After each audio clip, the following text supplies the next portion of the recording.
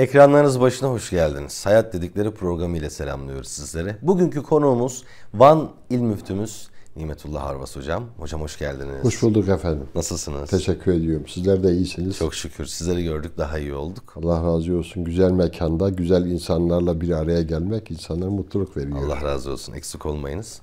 Hocam e, tabii uzaktan gelmeniz hasebiyle e, Van'dan selamlar getirdiniz bize. İnşallah biz de selamlar göndereceğiz Efendim ben Van'a. ta tavandan selamlar getirdim. Allah razı olsun. Havadan. Eksik olmayın. Aleyküm selam. efendim Doğu Anadolu bölgemizin medeniyetler başkenti ve Doğu'nun incisi Van'dan kucaklar dolusu selam getirdim. aleyküm selam. Allah razı olsun. Hürmet ederiz. Sizleri her zaman dinliyorlar, takip ediyorlar, takdir ediyorlar. Bu münasebetle sizlerin eee, her zaman konukları oluyorlar. Eksik olmasınlar. Eyvallah. Hocam şu an Van İl Müftülüğü vazifesini yürütüyorsunuz. Ama eğitim hayatınızı e, tabii e, hocazadesiniz aynı zamanda. Hocalık aileden de gelen bir gelenek. Buradan bakınca siz bize tarif etseniz, anlatsanız hem eğitim hayatınızı hem de bugüne bir geliş yapsak dünden bugüne. Efendim şimdi eee, ben eee, Van'ın tarihi kalesiyle meşhur Güzel Su, eski şeyiyle, ismiyle Hoşap'ta dünyaya geldim. Benim beşinci dedemin mezarı da orada. Ee, babam oranın e, İmam Hatibi'ydi. Hem müderrisi. Babam da orada hem medrese okumuş hem de okuduğu medresede de ders verdi. Biz e, etrafımızı görmeye başlayınca yani eşyayla, tabiatla, insanlarla haşır neşir olmaya başlayınca, tanıyınca, gözümüzü açınca benim ilk göz ağrım camideki babamın okuttuğu talebelerle oldu, babamla oldu. Benim ilk hocam babamdır. Ee, tabii e, Nahiye'ydi benim bulunduğum yer. Bu arada bir iki sene gecikmeli e, ilkokula kaydol etti babam beni. E, ilkokulda başarılı bir öğrenciydim. E, medresede de yani o günkü tabirle geleneksel eğitim kurumu olan medresede de talebelerle beraber, öğrencilerle beraber e, iptidadan intihaya kadar orada okuduk. E, daha sonra babam beni birkaç değişik yere de gönderdi. Yani değişik e, insanlarla tanımak, tanışmak, öğrencilerle tanışmak, hocalarla tanışmak. E, o da Van'da yine değişik yerlerde e, yine bu eğitim kurumlarıyla irtibatımızı kesmeden devam ettik. Çift taraflı tedris. Evet efendim. Bitirdikten sonra Erzurum Yüksek İslam Enstitüsü'ne kaydolduk. Tabi bu arada Diyanet Şey Başkanlığımızdan da burslu okudum ben İmam Hatip Lisesi'ni. E, iki kadro gelmişti bursla ilgili. Burs okuduk. Mecburi hizmete Erzincan'a tayin olduk. Oradan da Erzurum İslam Enstitüsü'ne biz devam ettik. Erzurum'da da yine e, mahalli mahallinde tanışmış, temayüz ve tebarüz etmiş hoca efendilerle sürekli irtibatımız devam etti. E, 12 Eylül'den sonra 12 Eylül darbesinden sonra efendim İslam Enstitüleri kapatıldı. Son sınıfta idim ben. O zaman İstanbul'a e, İstanbul İlahiyat Fakültesi ki o da İslam Enstitüsü ilahiyata dönüştürülmüştü. Orada yine e, İstanbul'da çok bereketli bir e, istifadeler oldu bizden. E, İstanbul'da da hafta sonları e, Bayezid'de Kubaaltı Cemiyeti Çemberlitaş'ta oraya değişik hocalar geliyordu, istifade ediyorduk. Tabii e, İlim Yama Cemiyeti yurdunda kaldım. Bu Şehzade başında. Oradan da e, değişik e, hocalarımızla, arkadaşlarımızla e, haşır neşir olduk tabiri caizse. İstifade ettim. Bütün hocalarıma Allahu Teala'dan rahmet diliyorum. Amin. Ben hayat olanlar varsa onlara da sıhhat afiyet diliyorum. Ee, onlara çok şey borçluyum. Allah rahmet Ya, eylesin. Amin, amin inşallah. Hocam Van'ın sosyal yapısından biraz bahsedebilir miyiz? Van tabii pek çok güzel ifadeyle açılışı yaptınız. Ama e, il müftülüğünüzün faaliyetleri kapsamından Evet. baktığımızda bu sosyal yapıyı nasıl değerlendiriyorsunuz? Şimdi efendim Van 7 vilayetten göç alan bir ildir.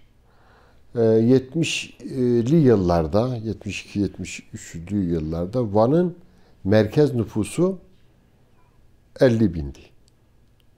Şu anda 700 bine yakındır. 7 vilayetten göç alıyor. Evet. Çevresinde bütün Van Gölü havzasında bulunan, tabi Ağrı'da dahil olmak üzere Hakkari en çok Hakkari, Şırnak, e, Bitlis, Siirt, ha- e, hatta Iğdır'dan da göç alıyor. Efendim tabi bu günden güne hem e, nüfus artıyor. Tabi bu nüfusun artışına paralel olarak da din hizmeti sunmamız gerekiyor. Biz bu meyanda e, iki proje, önemli proje geliştirdik. E, bizim bir sloganımız var. E, projenin olduğu yerde problem yoktur. Evet. Problemin olduğu yerde proje yok demektir. Evet. İkinci bir sloganımız e, hizmette sınır yoktur. Evet. Sınırda hizmet vardır. Ne yaptık? Biz tabi Kur'an kursları özellikle hanımlara yönelik e, Kur'an kurslarının e, artması için çalışmalar başlattık. Nereye? En ücret köye kadar götürmeyi başardık elhamdülillah. Yani şu anda 1100'e yakın Kur'an kursumuz var. Buna paralel olarak da o Kur'an kurslarında diyelim ki bir ilçemizde kaç Kur'an kursu var? 48, 50, mesela Erciş'te 200'den fazla Kur'an kursumuz var. Ee, en küçük ilçede bile Kur'an kurslarımız var. Oradaki hoca hanımlardan müteşekkil 5 yıldan beridir biz irşat ekipleri kurduk. 5 kişi, beşer kişilik. Yerel imkanları seferber ettik. Bu ekipler hanımefendiler, hoca hanımlar en uca köye kadar giderler. Mesela saat 11 ile 3 arasıdır bu. 11'de orada oluyorlar. 3'ten de herkes dönüyor. Çünkü kış şartları, e, diğer şartlar efendim. Ve buradan çok istifade ettik. Çok da geri dönüşü düş- e, dönüş oldu yani bu konuda. Bize gelen dönüşler var. Çok böyle enteresan şeyler. Hatta bazı hoca hanımlar gidiyor işte anlatıyor. Mesela Hangedi köyü İran'ın sınırındadır. Oradaki hanımlar diyorlar ki ne olur gitmeyin. Allah aşkına bizi bırakmayın. Mesela. Buna paralel olarak peki ne yapmamız lazım? E o zaman İmam Hatip'e ihtiyaç oldu. Evet. 2010 yılında Van'da bir tek İmam Hatip vardı. 2010 yılı. 10 yılında şu anda e, 19 tane İmam Hatip'imiz var.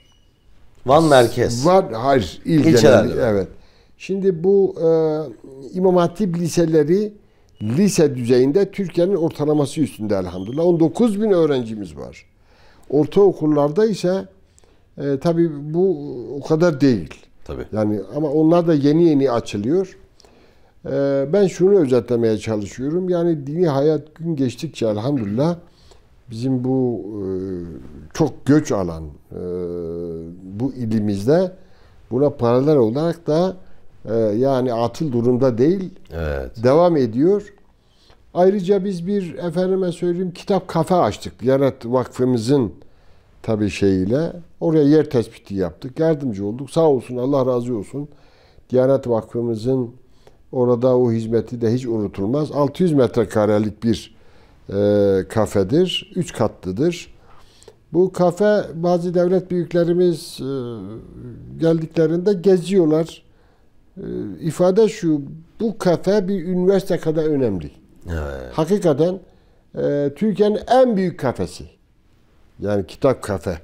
Diyanet Vakfı'nın açmış olduğu yayın matbaacılığına en büyük kafesi bizim Van'daki kafedir. Kitap kafe.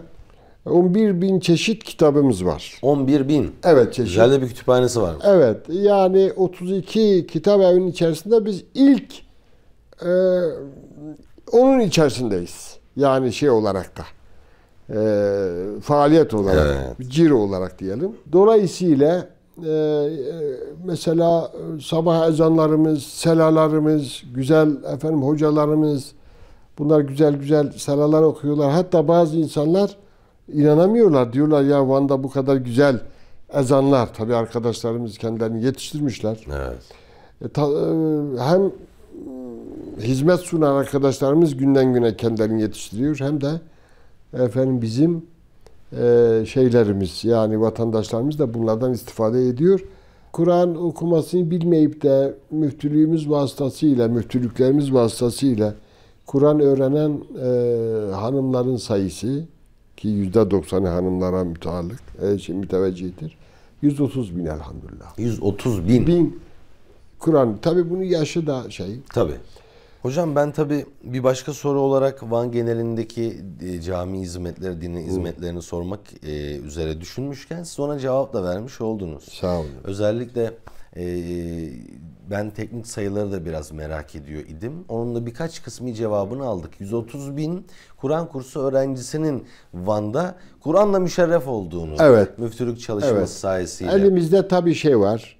Elimizde kağıtlar var. Yazılar var. Tabii. Hatta o irşat ekibini kurmuşuz biz bu bayan hocalardan. Ee, onların e, günlük gideceği yerler, kimlerle gidecek ekipler halinde onların bizde e, dosyaları Tabii, var. Tabii. Bu her bütün ilçelerde de vardır. Ee, elhamdülillah yani bu da çok önemlidir. Ee, camilerimizde cami derslerimiz mesela sabah namazında bizzati benim e, mütemadiyen pazar günü sabahleyin bir dersim var benim bir camide. Tabi arkadaşların çoğu değişik camilerde bunu yapıyorlar. Ee, yani e, çok memnunuz elhamdülillah. Her gün vaazımız var. Her gün Ulu Cami'de yapılan vaaz radyo frekansı üzerinden 100 metre e, 100 kilometrelik bir alana efendim yayılıyor. Mesela Karasal yayınlar. Karasal yayın. Bu da çok önemli. Projelerden bahsederken iki e, önemli slogan söylediniz ama ikincisi hatırımda kaldığı için ifade edeyim. Hizmette sınır yoktur. Sınırda Evet. hizmet Vardır. vardır. İkinci projemiz de, ikinci sloganımız da efendim projenin olduğu yerde problem yoktur. Problemin olduğu yerde proje yok demek. yoktur. Evet yani bir yerde problem varsa proje yoktur o zaman. Bir çalışma yok demek. Yok efendim yani biliyorsunuz proje niyettir. Yani biz namaz kılarken bile niyetimiz bir projedir yani. Biz dört rekat namaz kılıyoruz ya biz bir projeyi, bir niyeti efendim ne yapıyoruz? Kendimizi odaklıyoruz ya, konsantre diyoruz ya. Evet, evet. İşte projemiz olursa, kendimizi o projemize konsantre edersek e, netice elde edilir. Çünkü efendim men talebe ve cedde ve cede kim ciddi olarak e, talep ederse ciddi olarak bir işe odaklarsa kendisini vecede o işi bulur. E, bu münasebetle e, biz de e, din hizmetleri hususunda gerek vaazlar olsun, gerek irşad olsun, gerek sosyal mesela bizim bir projemiz daha vardı. Zaman varsa eğer bir Buyurunuz. hemen e, arz edeyim. Sosyal hizmetler projesi. Mesela bunu 4 sene, 5 sene önce başlattık. Engellilere yönelik, hanımlara yönelik, işte bu Kur'an kurslarımızın çoğu hanımlara yönelik. Efendim esnaflara yönelik, emekli din görevlerine yönelik, e, hastalara yönelik, Evet. efendim şehit ailelerine yönelik, şehit ve gazi ailelerine yönelik gibi yedi sınıf ayrı e, sınıflarda bizim hizmetlerimiz tabii bu sosyal e, hizmetler projesinin de ekibi var, ekip başkanı var.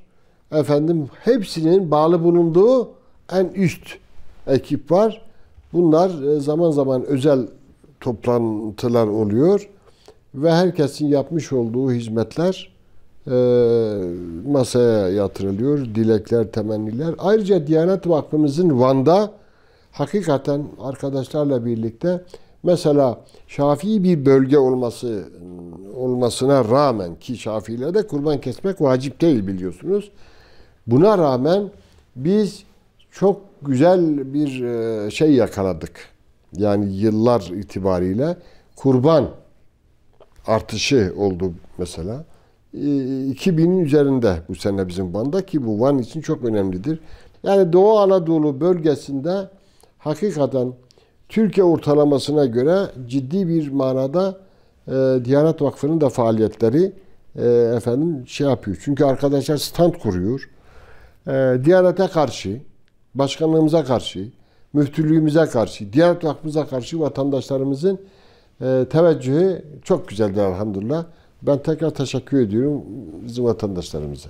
Hocam ben e, gelmek istediğim sorunun cevabını veriyorsunuz adeta.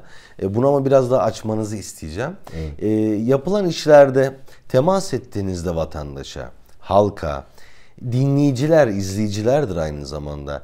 En temelde e, din kardeşlerimize. Tabii. Ama siz tabi idareci olarak, hoca olarak onlara eriştiğinizde yapılan işlerde nasıl karşılıklar buluyorsunuz? Şimdi efendim şöyle. Mesela biz e, bir mahallede cami, cami cemaati e, biz ele aldığımızda oraya uygun hizmet yapabilecek itikat yönünden, amel yönünden, ahlaki e, yönden örnek olabilecek. Zaten bütün din görevleri öyle olması lazım.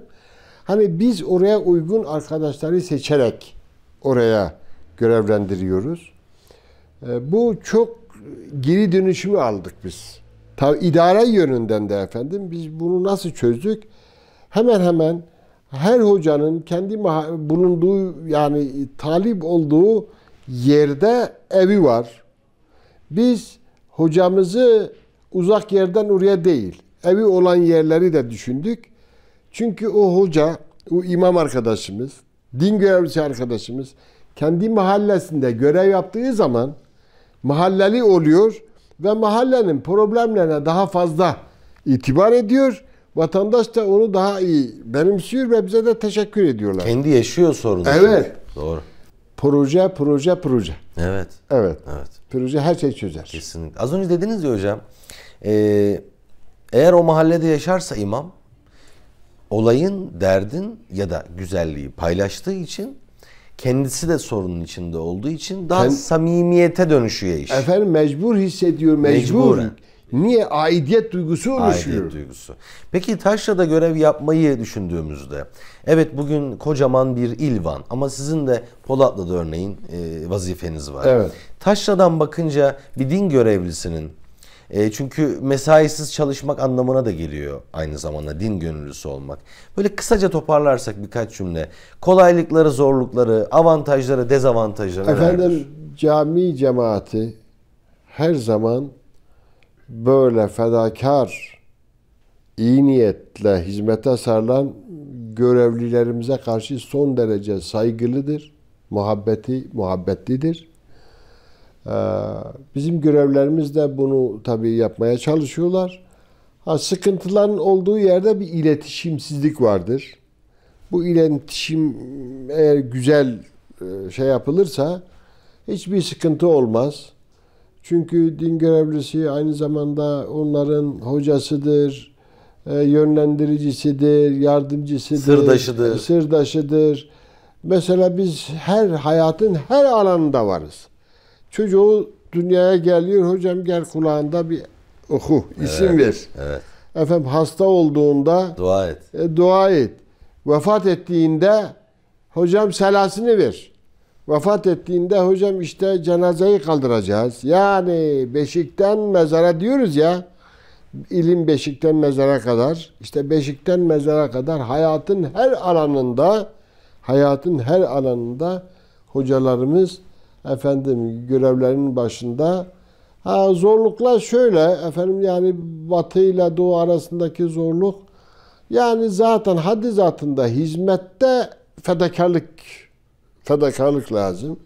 E tabi her meslekte olduğu gibi bizim meslekte de zorluklar vardır. Bu zorlukları aşmak imkansız değildir. İmkan dahilindedir. E, bunlar da tabi e, genel manada e, cami cemaati cemaattir. Cami cemaati ibadete geliyor, yöneliyor. Ee, bir zorluktan bahsetmek efendim şey değildir yani. Ha bazı yerlerde şöyle bir şey var. Mesela bazı bölgelerde, bazı yörelerde bir hoca efendi gittiği zaman eğer imkan olursa cemaat ayağa kalkıyor. Evet. Ha, yani kalkıyor. Bu e, bazı yerlerde de bu yoktur. Olmayan yerde bu cemaat saygısızdır diyemiyoruz. Öyledir yani. Bazı yerlerde de öyle. Fakat genel manada hoca deyince herkes ve her kesim ne yapıyor? İtibar ediyor. İtibar ediyor, hürmet gösterir. El verir ki efendim biz eee, ne yapalım? Kendimizi ona göre yetiştirelim, hazırlayalım. Hocam son birkaç dakikada biz e, sizin vaktinizi nasıl değerlendirdiğinizi öğrenerek programı kapatalım. Evet. E, halkla iç içe olmak bu münasebetle bir yoğunluk hem idarecilik hem hoca olmanın getirdiği sorumluluklar, bir ailenizin sorumluluğu, kendinize kalan zamanı nasıl değerlendiriyorsunuz? Efendim birkaç kendimize cümle? kalan zamanı malum e, zaten e, zaman beşe ayrılmış. Beş vakit namaz var.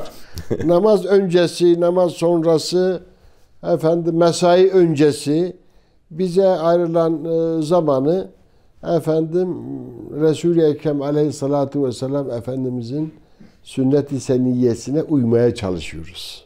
Yani nasıl Peygamber Yaptıysa- Efendimizin mesela sabah namazı camiye gelişi. Evet. Sabah namazdan sonra ne yapıyor? Efendimiz cemaate dönüyor. Onlara soru soruyor mesela. Onlara vaaz ediyor. Peygamber Efendimiz istisnasız her sabah namazından sonra efendim cemaate yönelik dönerek vaaz etmiştir. Bazen soru sormuştur. Soru sormuştur. İşte bugün rüya gören var mı? Bugün bir hastayı ziyaret eden var mı? Bugün efendim bir cenazeye katılan var mı? Ya. Bu şekilde işte e, kim varsa soruyor. Mesela en şeyinden e, bir sabah namazından sonra bakıyor diyor ben bugün burada bir siyahi hanım vardı. Yani biz zenci diyoruz ya. Evet. Caminin hizmetlerini yapan bir siyahi hanım var. Bugün nerede? Diyorlar ki vefat etti ya Resulallah. Peki bana niye haber vermediniz? Aynen böyle. Niye bana haber vermediniz? Dedi ya Resulallah gece olduğu için seni rahatsız etmek istemedik. Olur mu?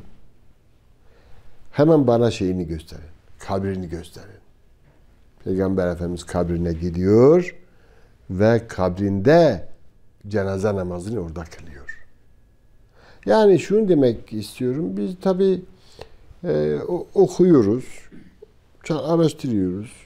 Şu problemler varsa problemleri hallediyoruz. Halletmeye çalışıyoruz. Taziyelere gidiyoruz. Bizim orada taziyeler çok önemli. Acıları paylaşmak için. Evet, gidiyoruz ve her taziyede istisnasız ya bir ayet ya bir hadis ışığında 10-15 dakika bir sohbetimiz oluyor. Bu da e, çok e, şey olarak e, karşılanıyor. Tesirli. Evet, tesirli oluyor, vatandaşlar şey oluyor. Bir de zaman zaman barışlar oluyor. Barışlara gidiyoruz. Yani bunlara da şey yapıyoruz. Kendimize ait olan zaman da mümkün mertebe yine kendimize, ailemize, çevremize faydalı olan şeylerle meşgul oluyoruz. Cenab-ı Allah Efendimiz Aleyhisselatü Vesselam'ın gösterdiği o yol üzere sülük eden, o yol üzere hareket eden eee, ve gerçek manada minberine, mihrabına, kürsüsüne varis olanlardan eylesin. Amin inşallah. Evet. Halkın bu ihtiramı, bu itibarı hep sürsün inşallah diyelim. amin. Siz de bizden e, döndüğünüzde Van'a selamlar götürün inşallah. Biz de siz selamlarınızı götüreceğiz. Şunu söyleyelim efendim. Eee, Vel akibetu lil muttakin. Akibet eninde sonunda muttakinlerin olacaktır. Cenab-ı Allah eee, Celle ve Ala Hazretleri eee, bizi o güzel yol üzere sülük ettirsin. Amin. memleketimizi, milletimizi efendim güzelliklerle buluştursun. Amin. Arazi ve semavi sıkıntılardan muhafaza eylesin. Her türlü her türlü tasallut ve taarruzlardan muhafaza eylesin. İslam ümmetine eskiden olduğu gibi örnek olmayı bu millete tekrar nasip eylesin. Amin. Allah razı olsun. Amin inşallah. olun. Hocam çok sağ olunuz. Eksik Sağ olmayınız. efendim. Teşekkür ediyorum size. Efendim Van İl Müftümüz Sayın Nimetullah Arvas Hocam çok güzel bir dua ile kapanış yaptılar sağ olsunlar. Yolculuğa Van'dan başladık, Van'dan veda ettik, selamlar gönderdik. Ee, haftaya bir başka bölümle Hoş sohbetimize bekliyoruz sizleri de. Hoşçakalın.